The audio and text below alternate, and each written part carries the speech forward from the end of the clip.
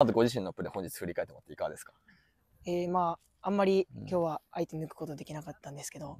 まあ最後に逆転できてよかったです。鳥栖ということで、まあ、強いチームかなりプレッシャーも高いっていうか硬いところもあったと思うんですけどもどういう気持ちでどういう戦い方をしようって望んだ感じですか？今日は。まあ自分たちのサッカーをしながら、うんまあ点を取ってもう絶対に勝つっていう気持ちでやりました。そこの自分たちのサッカーっていうと、まあ、技術を大事にボールを大事に扱ってっていうところだと思うんですけどズバリどういうサッカーっていうふうに感じます、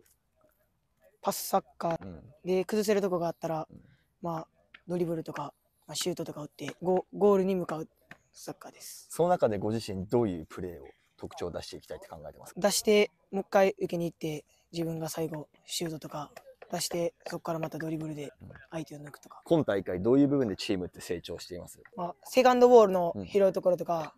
まあもう競り合いとか絶対負けないようにしていてそれでそこからまあ得点とかもまああるんでそういうところが成長できたと思います。グループリーグもちょっと映像とかで見せておしゃれなプレーが好きなのかなと思ったんですけど ご自身なんかどういうところを出していきたいと思ってます？まあ、ドリブルで、まあ、抜いて、うんいいかいいところに置いてシュート打てるのが打てたらいいと思います。